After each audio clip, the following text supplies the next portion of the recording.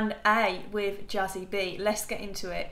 So I put a poll up on my Instagram for some questions. I've done a Q&A once before and I did that with my mum. If you haven't checked it out, I'll put the link above. And also as well, excuse the lighting situation. So it is a nice sunny evening in the UK and I'm going to make full use of the UK's natural ring light and that is sun. Wherever the sun is, you will find me putting my face there with SPF on because it is the best ring light. Question time. Question number one. I think this one is quite obvious. If you know me anyway, do you have any brothers or sisters? No. No, I do not. I am an only child. And the funny thing is, I've picked a partner who is one of nine and to say that we have differences is an understatement. But somehow it works, so I'm fine with it. I also think we've definitely taught each other a lot. So my partner's very kind, giving, sharing, as you can imagine, being one of nine. Whereas me, on the other hand, I am caring and I am sharing, but if it's chocolate, no, I don't share. When I was younger, I actually used to think that it was called lonely child. So I would go to school and the teachers would go, Oh, do you have any brothers or sisters? And I'd turn around and go, No, I'm a lonely child. I'd call it lonely child. They must have thought, right, call in the NSPCC. I've loved growing up an only child, and I think it's probably one of the reasons why I am so close with my mum, which leads me on to my next question actually. Someone's put, I love the relationship that you have with your mum. Have you always been this close? I have been like my mum's best friend ever since I was born. She is and will forever be my best friend. Even when I was younger, I remember I would follow my mum round like a little sheep to a point that she'd call me her shadow. Yeah, I have always been this close and I will continue to be close with my mum some people might think, oh, you need to cut the apron strings now, but never ever to happen. I adore my mum to bits, and that's the way it's to stay forever. Next question.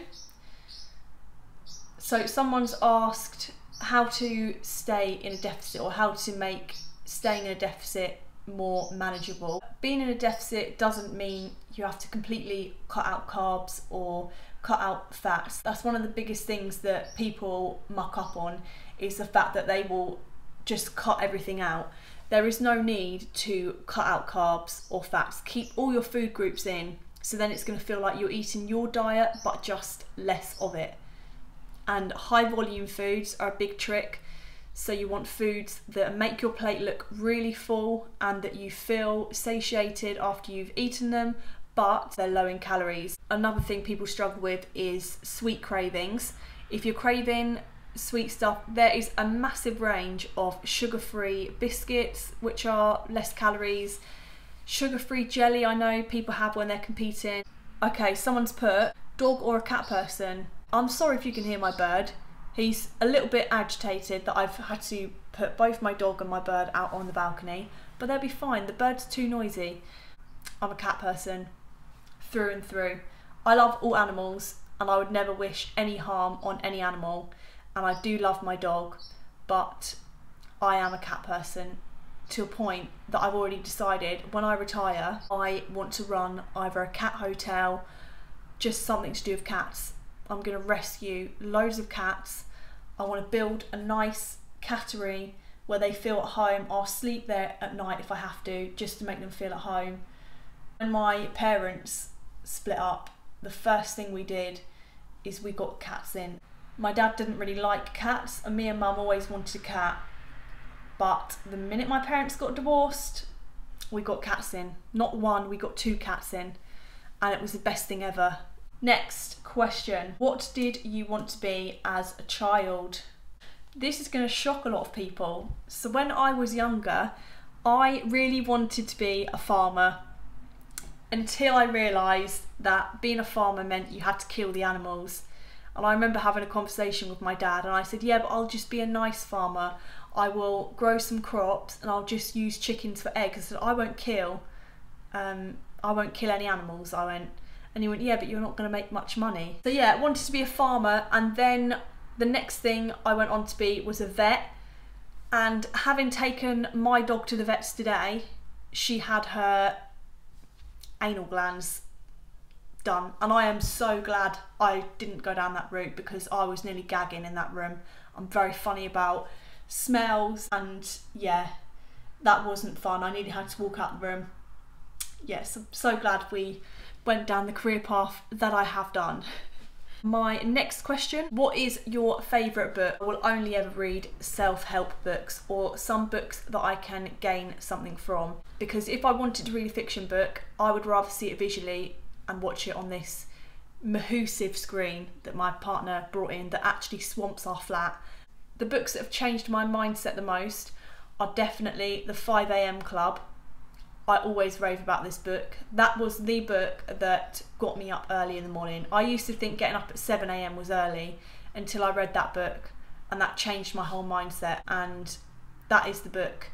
Other books that I like reading are Atomic Habits. Insane, amazing book. I think it's so easy to get overwhelmed in this day with everything that we should be doing and where we should be in life and that book really teaches you just to narrow down your focus on really tiny tasks that often we'd overlook. And it's such a good theory that you can apply to pretty much any area in your life including fitness. There are so many things that you might get tasked with doing every day to reach your goals such as drinking your two litres of water such as getting your steps in such as getting your workouts done that you can often overlook. But if you really focus on those tiny things that are actually building the bigger picture, that's the game changer. That was a really good book. I enjoyed that a lot and I recommend it to all my clients to read as well. So I've actually missed off a question and the question was what makes you angry? Yeah, there are quite a few things that make me angry actually. Men, full stop. Sexism of any kind, I won't tolerate that. Not even jokes, not happening. And the other thing that really gets to me is any form of animal cruelty or cruelty against vulnerable people. So, whether it be children, whether it be the elderly, my biggest thing is animals. Like, I hate to see, like, God forbid I ever see in person someone being cruel to animals because I know I would lose it.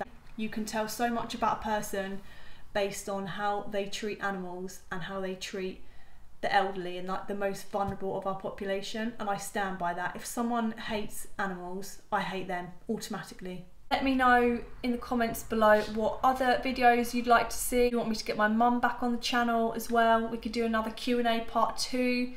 And that is the end of this video. I'm now going to go and get my furry kids in because they're probably getting a bit agitated out there.